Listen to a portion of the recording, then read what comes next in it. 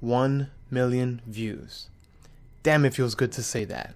And I say we did it because it was a collective effort made by everyone who has ever clicked. Those of you who follow the random shit I post, the casual people who have clicked out of curiosity, and naturally, surprise, surprise, the wretched assert low-life shit stains that infest YouTube every day. We did it. For the official record, I actually reached a million views somewhere between the 29th of November and the 1st of December, but the shitty ass, delayed, and broken analytics system of YouTube just happened to be fucked up during that time period, so it finally registered the total views 4 or 5 days later, uh, but probably more given its history of blundering inaccuracies.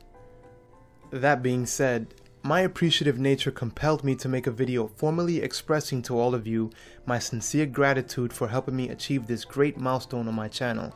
Here's why.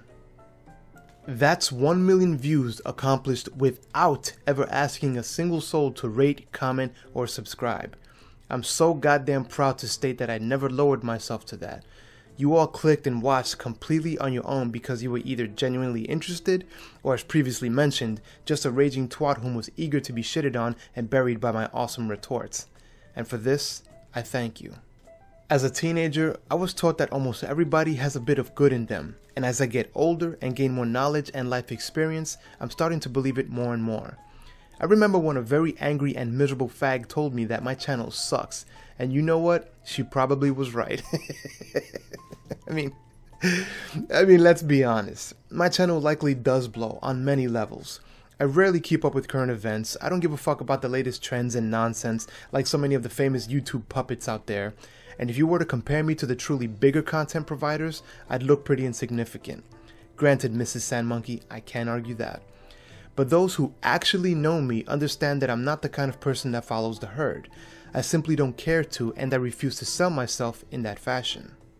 I am mentally incapable of, for lack of a better phrase, doing what everyone else is doing.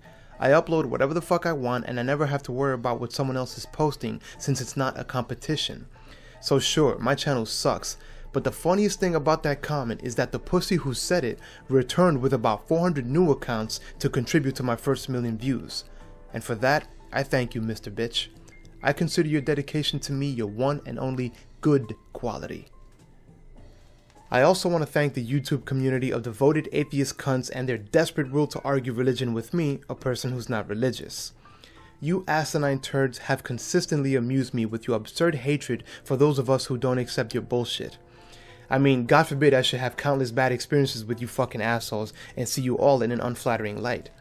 It seems as though the cocksucking atheists are fine with opinions just as long as it doesn't speak negatively of them. Well, shit, I'm glad free will exists, aren't you? While my shit list can go on, that's not what this video is about. My channel hit a million views and I graciously bow to all who made it happen. Keyboard bitch and mature viewer alike. There are many great people I'd like to specifically thank, but I want to avoid the perceived element of favoritism. I honestly don't mind playing favorites since the cool people will always be my homies, but my kick-ass supporters should definitely know who they are because I frequently interact with them. So I'll leave it at that. Thank you all for your time and energy. I'm Geo, and I'm done. Skull.